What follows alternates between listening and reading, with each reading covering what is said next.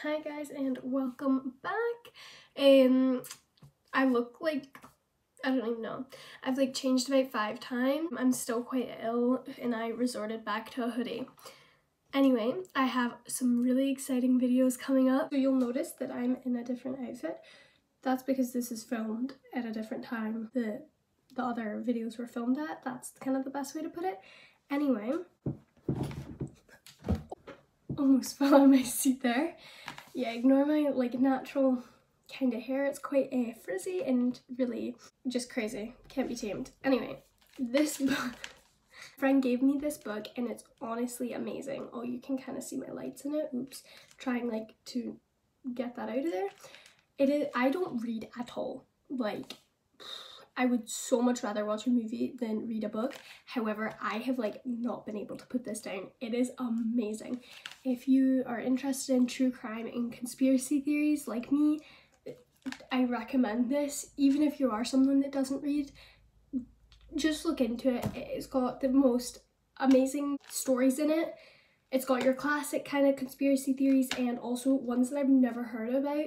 It, I just, I really recommend it. So I thought I would just kind of show you this because that is what my channel is kind of about. Also, look at my wee mug. Love. So cute. I drink coffee like all the time and like I love coffee so I got that mug for Christmas as well and it's so amazing. I love it. Eh, anyway, sorry, I will move on. Just wanted to show you this. Sorry if I look quite like plain and I really wanted to wear these earrings that I got. I got them months ago but my ear has closed up. I tried to like thing it, like it's so sore. So yeah, I look quite plain. If you haven't watched any of my videos before or you don't really know what my channel is about, it's like a true crime, conspiracy theories, and really anything. I'm kind of new. Yeah, sorry, my lipstick's a bit all over the place. I don't really wear lipstick, but my lips look just not there at all today. Literally. They looked like foundation lips oh, terrifying. So yeah, it's kind of like all over the place. But anyway, let's get into the video. I hope you enjoy and stay tuned for my next couple videos. I'm, I'm just so excited for them. They are chaotic. Like, I'm really sorry about my last video and how long it was. It was packed with so many like information that I didn't want to miss out because it could make the whole case not work. So I'm really sorry, but I hope you enjoyed that anyway. Thank you for everyone that has been so supportive and been watching my videos and subscribed. So thank you so much. Who was Gemma McCluskie? She was a 29-year-old actress who played Harry Skinner, Ethel Skinner's great niece in the BBC soap EastEnders in 2000 and 2001. Gemma was murdered on March 1st, 2012. She was 29 years old. She was killed 12 years after her first appearance in EastEnders as Robbie's two timing girlfriend, Kerry Skinner. Gemma was known to be warm hearted and have a zest for life.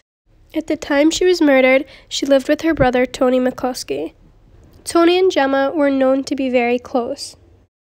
Saturday, March 3rd, Tony McCluskie, a friend, and the other brother, Danny, went to the police station to report Gemma missing. This is the real CCTV footage of them in the police station.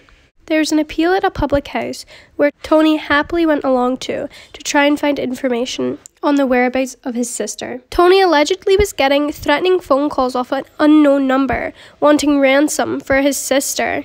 They claimed they had kidnapped Gemma.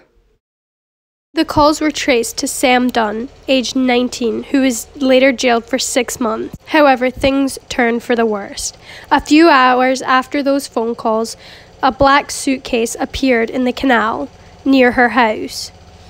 They opened the suitcase up and found a headless torso.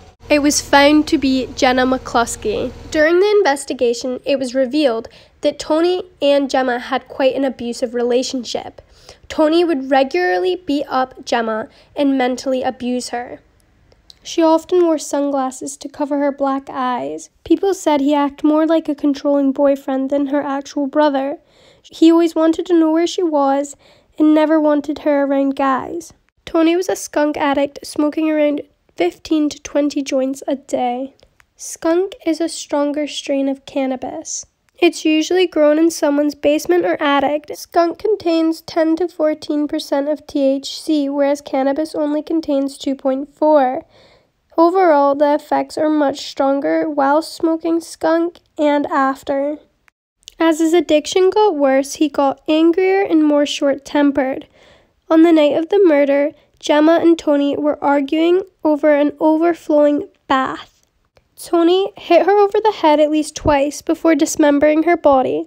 He spent three hours dismembering her with a knife and meat cleaver before dragging her remains in a suitcase to a taxi, which was caught on CCTV. He then dumped it in the nearby Regent's Canal. She was sadly hacked into six pieces. Her limbs were found in plastic bags a week later. Her head was not found until six months later, and it was discovered in the water. Tony was arrested on suspicion of murder in a search of their flat found drops of blood in the bathroom and kitchen, as well as a missing knife. He insisted he couldn't remember doing it and that she attacked him first. He said that she was the one who was abusive and tried to smear her reputation. However, this was not true. I want to go back to this photo. As you can see, Tony's hand has some injury to it. Now, I'm not too sure what he said to defend himself on that, but I don't think many people actually caught on. So I thought it was worth going back to. On September 29th, he admitted to manslaughter. He was found guilty of the murder by juries with an 11 to 1 majority. The window cleaner was jailed for life in order to serve a minimum of 20 years in prison. Gemma McCluskie's funeral was on the 30th of November 2012, nine months after she was murdered. There was over a hundred people there to mourn for her and support her family. That's the end of the video. I really hope you enjoyed. Follow my Instagram for more updates and also subscribe if you want to to stay in the loop of things and to see future uploads. I hope you enjoyed and stay tuned for my next video.